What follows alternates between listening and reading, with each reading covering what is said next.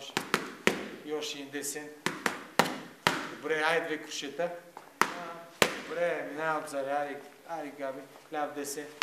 Добре, и ляво круше. Добре, и още един десен.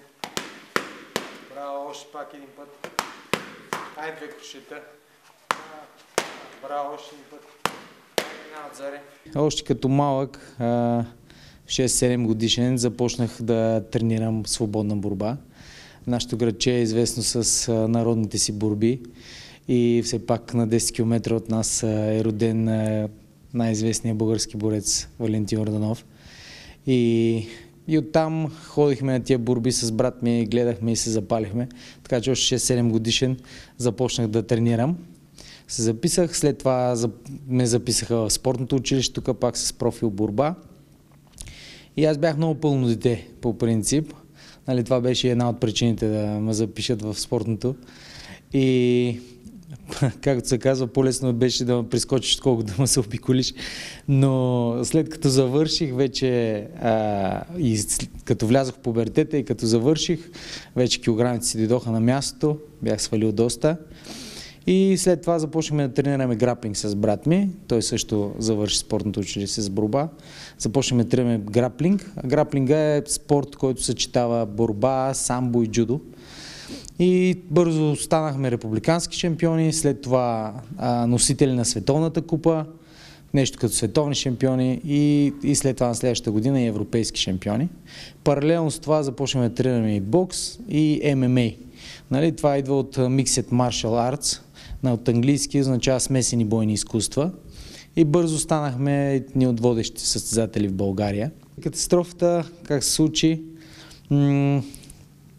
по време на работа отидох, трябваше да отида до Бургас да взема а, един човек, който да свидетелства за фирмено дело. Нали, и, и по пътя на връщане, 20 км от Русе, а, беше последната слана, 25 март, и колата ми поднесе, задницата поднесе, не можах да овладея. И се забих в една канавка и оттам започнаха и ни предни салта. И аз излетях от страничната врата. Очевидец след мене е казал там на мой приятел, че съм летял 50 метра във въздуха. И, и сега много хора, нали, и паднах по очи, останах там, усетих, че е врата нещо не е както трябва, съм завършил кинезитерапия и знаех, че не трябва да мърдам докато изчакам линейката. Но бях жив, слава на Бога. И вижте сега много хора ще си кажат, добре, нали си вярваш, нали Бог те обича, а, нали защо, къде беше Бог по време на катастрофата. Вижте, аз сега в, в случая съм карал с а, неправомерна скорост за участъка за настилката. Нарушил съм физически закон, никой не ми е виновен и съм се отъркалял. Но важното е, че съм жив и здрав и знам, че скоро това ще приключи и знам, че както ме е спасил, защото вярвам и знам, че той ме спаси, както ме е спасил, така и ще стана от тая количка.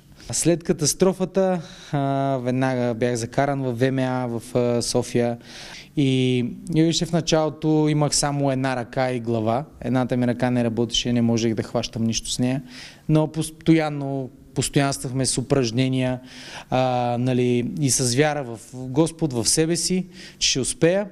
В началото не може да хващам нищо, но леко по леко започнах да хващам и започнах да, да се възвръщам, да се, да се поупрям. И, и, и даже не разбрахме кога, значи аз нямах и глас, защото ми бяха увредени гласните струни от интубацията. Три от срещите завършиха с технически нокаут още в първия рунд. Международното участие също не просъществува дълго на ринга. Първо Светослав Захариев засипа с юмруци Панайотис Дракос и сломи надеждата му за втори рунд. В следващата среща бразилецът Риналдо Фузил излезе срещу Емил Захариев и изглеждаше, че има сили да се справи с него. В края на първия рунд вече беше ясно, че Захариев няма да се откаже.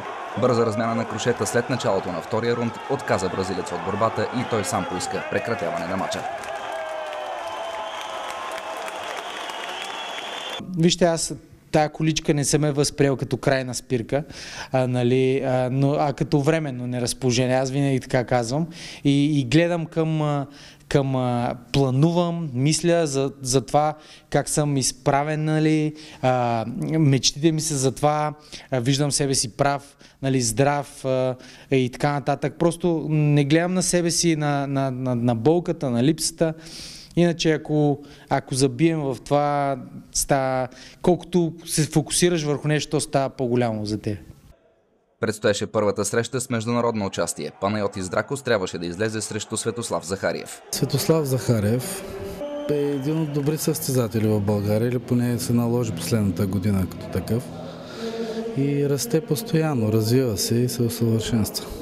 Дракос буквално нямаше шанс срещу Захариев. Още в началото на матча Светослав тръгна мощно и силно и повали противника си на земята.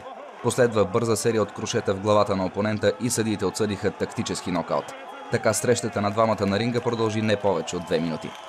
Последва изблъсък при най-тежките. 100 кг на Христо Йорданов от Пазарджик предизвикаха 100 кг на домакина Станислав Драков. И този добой продължи кратко, като поради отказване победата бе присъдена на Драков. Емил Захарев е също един от състезателите, който се наложи последните години в България. И не само добре изглеждащ с внушаваща физика, но е много динамичен състезател. За мен специално състезател, който може да се наложи на световно ниво. Просто, може би, лека по лека ще стане това нещо. Срещу него на ринга се изправи Риналдо Фузил, шампион по бразилско жилжицо. Първата минута две от рунда бяха използвани и от двамата за запознаване с движенията и тактиките на противника. И последва серия от сблъсъци, които обаче не доведоха до откоряване на явен фаворит. Так му изглеждаше, че Емил Захариев има по-големи шансове за победа и сирената прекрати спора. Всичко обаче се реши много бързо през втория рунд. Още в самото му начало мощна атака на Захариев извади от равновесие Фузил и бразилецът поиска прекратяване на боя. Залата стана на крака, за да аплодира постижението на русинския възпитаник.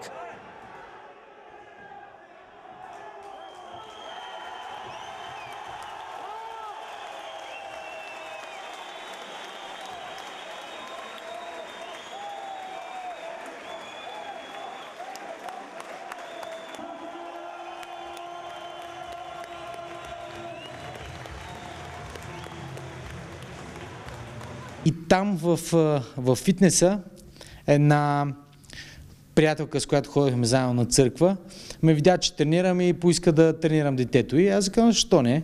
Нали, да правя и аз нещо. И започнахме така лека по лека.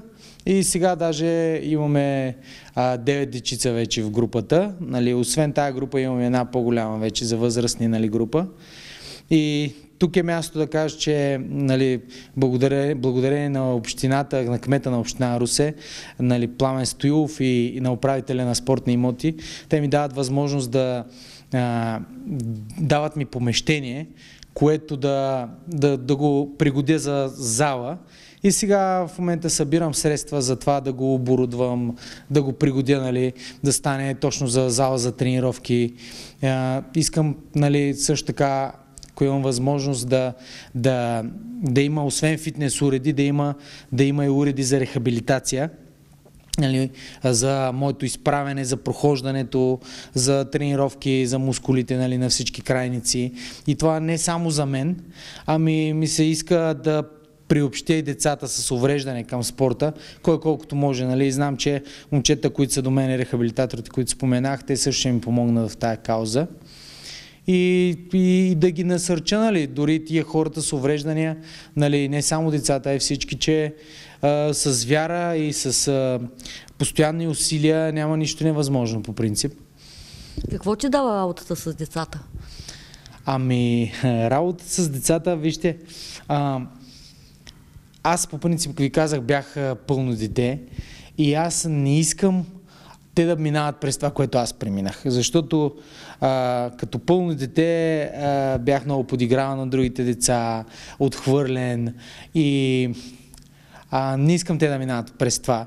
Знам, че сега всички деца ядат некачествена храна, стоят пред компютрите, нали, и, и това нещо води до супер нездравословен начин на живот, а, което уврежда и здравето, затластявания и така нататък. И, и знам, че тренировките тренировките, било то не само при мен, каквито и да са тренировки, а, те водят до, до дисциплина, до отговорност, водят до както физическо развитие, здравословното състояние да се подобри, така и вътрешното им самочувствието им, увереността, да, се, нали, да, да имат увереност, да имат самочувствие. А, и, и, и ми харесва да ги виждам а, как, как се раздават, как се развиват, нали, как ги вълнува това нещо. А, и си спомням как аз съм бил по същия начин. И това ме крепи, това ме вдъхновява, така да го наречем. Освен а, тренировките, с какво друго се занимаваш в момента? Ами, аз също си тренирам а, нали, в а, фитнес зала и а, освен това подготвям, пиша книга. Книгата, а, тя е и като автобиография, нали, на кръстил се заглавието е Аз, запетайка, а, треньорът с главна буква.